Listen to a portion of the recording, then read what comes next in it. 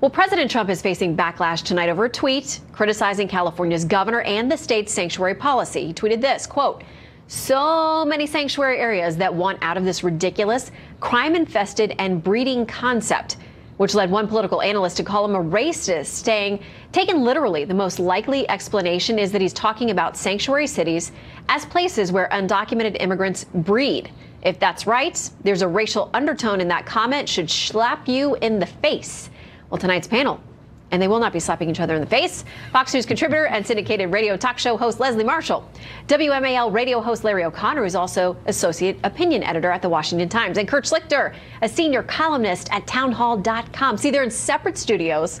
So there'll be no physical altercations. This Great to see all of you tonight. This, This time. time. Okay, so I want to start with something the ACLU had to say about this breeding concept thing that the president tweeted about. He said, no matter how loud the dog whistles, remember that border crossings are near an all time low. Border communities are already militarized, and deploying troops for a manufactured crisis is beyond wasteful. Also, at Real Donald Trump, these are human beings, not a breeding concept. Kurt, first to you. Oh, this is just nonsense, Shannon. I'm getting so sick of these people trying to dodge the real issues with baloney about racism. That's all they do. Because here's the problem a bunch of people who should not be in our country are in our country.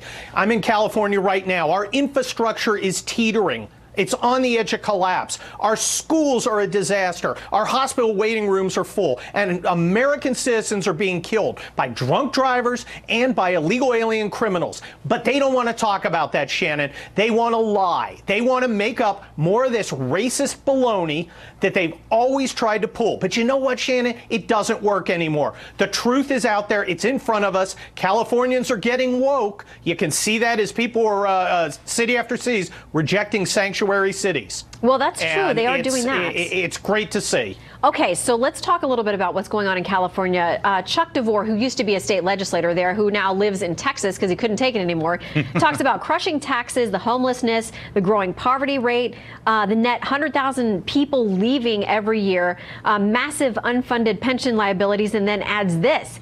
California isn't the future. Rather, it's what America's 2016 election of Donald Trump saved the nation from becoming. It's not a harbinger of things to come, but it will soon be an example of the fate we narrowly avoided. Now to our other Californian, Leslie Marshall, to weigh in. Wow, I don't even know where to go with this because it's interesting. When you present a glass as half empty, you forget to look at the other half, which is half full. In the state of California, you forget to look at how many people are coming after other people leave. You also, I mean, there's another reason we need more and more housing throughout the entire state, uh, is we have more and more people. Just look at Silicon Valley and the people there importing not just here, but from other countries who have uh, specialized uh, computer skills. Uh, I want to go to Kurt, who you don't, you don't want to look at the facts. The facts are that let's like say San Diego that doesn't want to be a sanctuary city. They have the lowest crime rate that they've had in 49 years. The majority of crimes in this state and the country are committed not by uh, immigrants who have come here illegally. They are by people born, bred, and raised here. And speaking of breeding, what? Shannon, animals breed, people don't breed. And this is a very racist term. It was used uh, in Eastern Europe uh, toward the Jews. It was used in China before the Oh, one child Jesus. policy. It's been used toward Italians and Irish that are Catholic. And with the exception of Chinese, I am all three of the other. Okay, let's bring Larry in here to this conversation. What do you make of the remark? Was it too much? Is the tweet being taken out of context, or is that uh, a proper assessment, Leslie, Uh, of where it is? Listen, if I had a dollar for every tweet the president put out where he uses language that I wouldn't use, I'd be as rich as the president.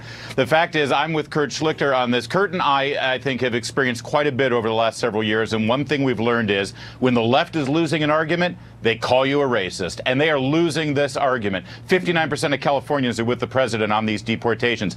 Leslie has a lot of numbers and a lot of facts, but there's one fact that she's not avoid uh, that she's avoiding here, and that is this: these people come to the country illegally or stay in this country illegally. That's the first infraction. The second, if they're working here, then they continue to break the law because they're not supposed to be working here. And thirdly, if they are in police custody asking for sanctuary from federal officials, it means they've broken the law a third time. And the American people understand this that they're breaking the law, they continue to break the law, they don't deserve the honor of being in this country.